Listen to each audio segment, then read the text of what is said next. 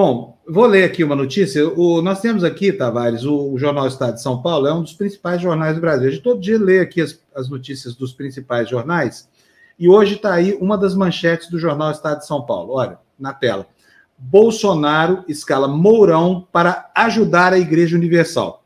Vou ler aqui um trechinho do lead da matéria para vocês, que é sobre isso que a gente vai falar com Tavares Armando. O presidente Jair Bolsonaro escalou o vice-presidente Hamilton Mourão para intervir diretamente na gestão de uma crise privada que envolve denúncias sobre a atuação da Igreja Universal do Reino de Deus em Angola. Com as principais, eh, com as pesquisas que sinalizam a erosão do eleitorado evangélico, Bolsonaro colocou o governo para atuar como mediador de um problema sem nenhuma relação institucional com a República, no caso, com a República de, é, de Angola. Né? Mourão confirmou ao Estadão que esteve com o presidente de Angola, João Lourenço, na semana passada, que tratou diretamente do assunto, atendendo a um pedido expresso de Bolsonaro. Abre aspas. Por orientação do PR, presidente da República, conversei com o presidente angolano, afirmou numa referência ao embate na Universal. A diplomacia está buscando uma forma de fazer com que as partes se entendam.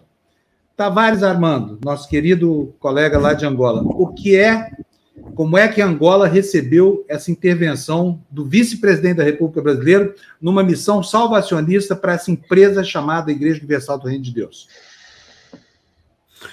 Bom, a, a princípio, a princípio eu gostaria de dizer é, o seguinte: Uh, Edir Macedo está a, a, a, tentar instrumentalizar a Sua Excelência, presidente Jair Bolsonaro, é, com muito respeito, a tentar instrumentalizá-lo, agora está a instrumentalizar o vice-presidente, é, o, o senhor Mourão. Quer dizer, ambos estão a ser instrumentalizados para os interesses e confessos do senhor bispo Edir Macedo. Eu só quero aqui realçar que os crimes que Edir Macedo cometeu em Angola, eu posso considerá-los, ou até mesmo os criminalistas podem considerar como crimes contra a humanidade. Eu não, não acredito que Edir Macedo deva mais é, pressionar o presidente Jair Bolsonaro ou até mandar o, o senhor Mourão, vice-presidente, para poder reaver a igreja em Angola. Porque os angolanos já não precisam de um novo colonizador.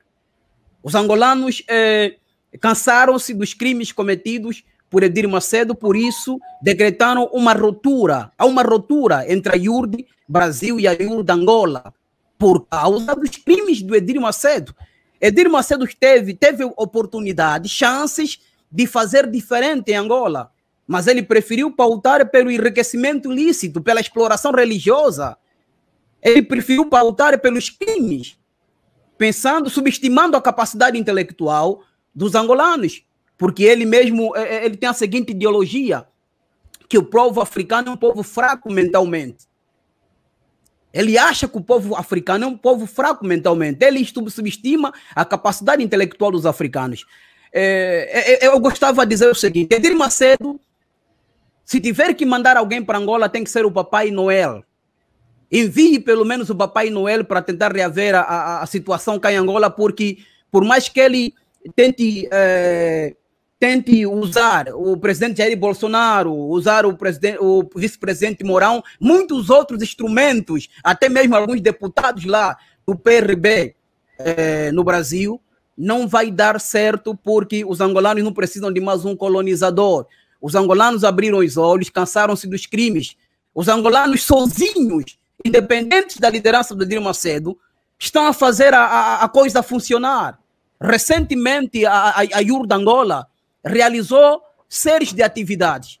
Fizeram doação de sangue, fizeram doação de sangue, eh, eh, plantaram mais de 700 árvores, fizeram doações, realizaram almoços com, com, com, com o, o, o pessoal do Beral, com o, até mesmo meninos de rua, visitando orfanatos, começaram a ajudar as pessoas. Noutra hora era impossível esse tipo de trabalho ser realizado, a não ser que eles quisessem realizar esse trabalho para poder então fechar os olhos do Estado e por detrás cometerem os crimes. Mas os angolanos sozinhos, independentes de Edir Macedo, estão conseguindo fazer a coisa funcionar e está a funcionar é, distante de crimes.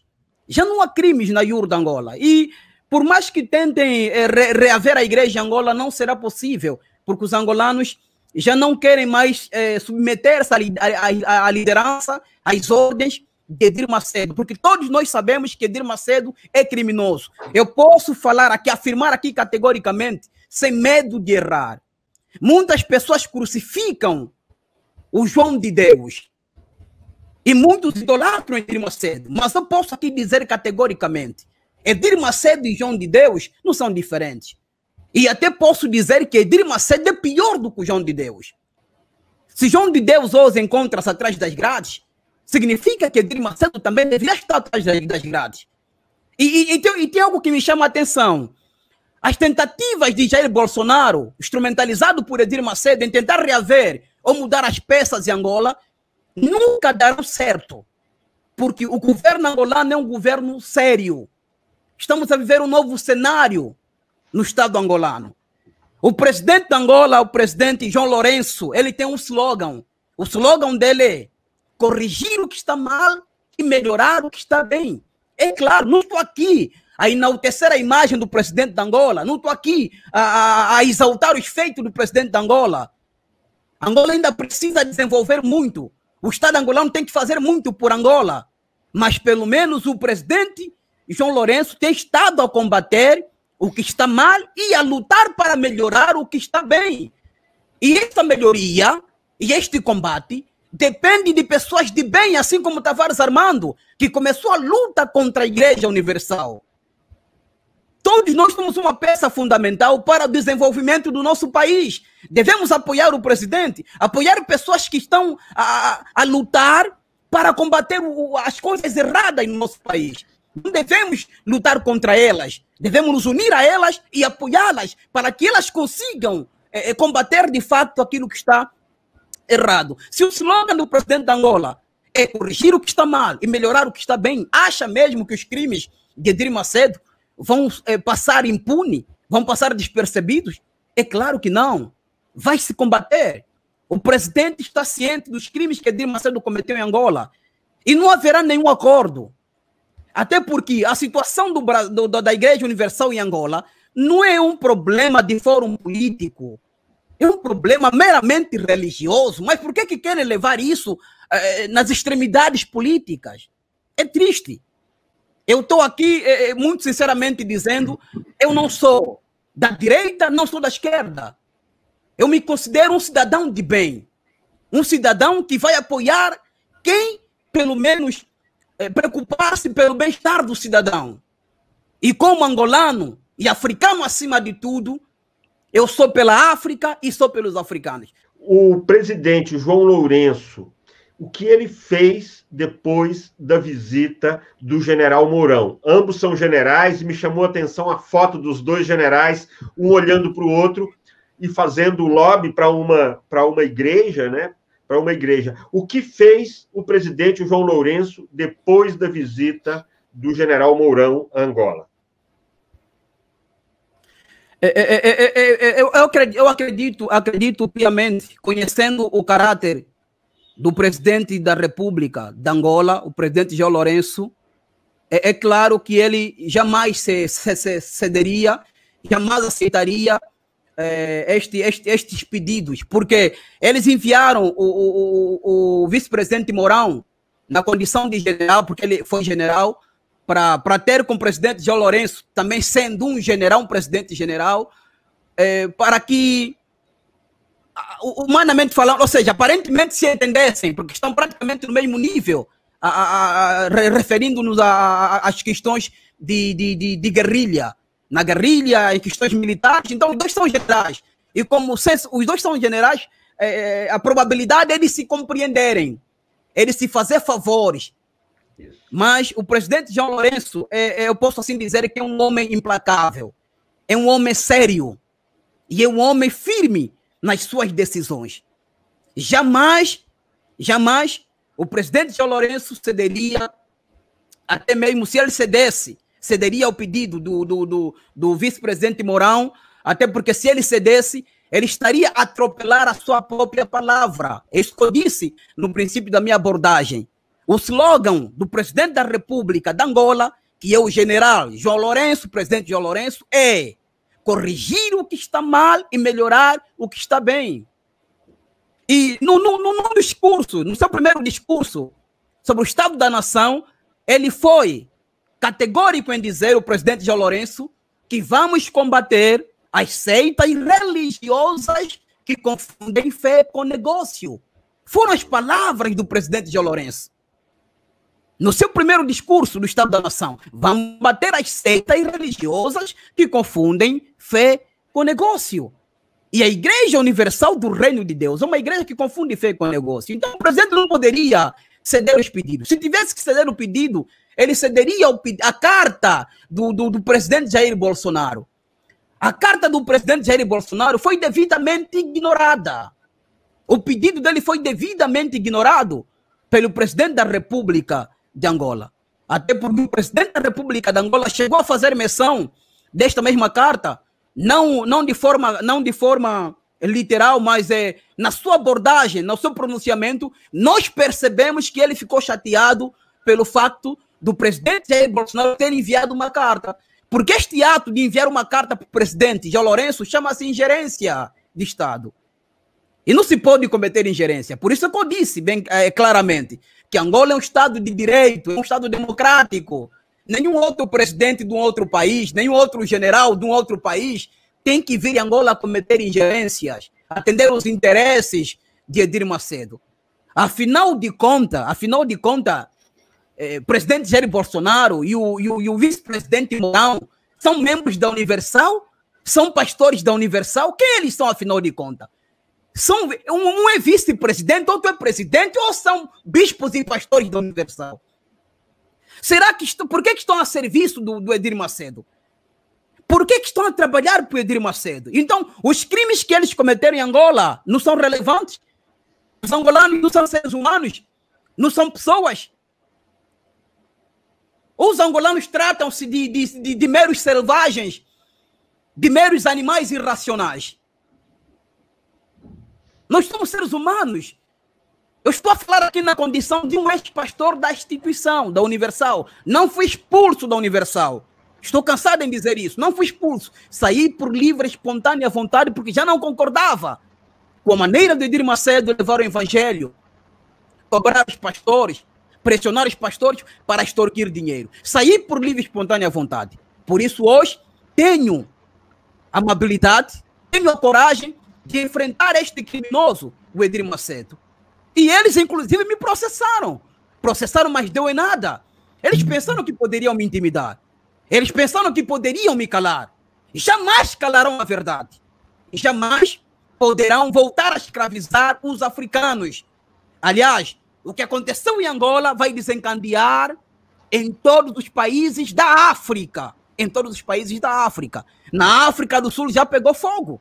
Na África do Sul já começou uma reforma.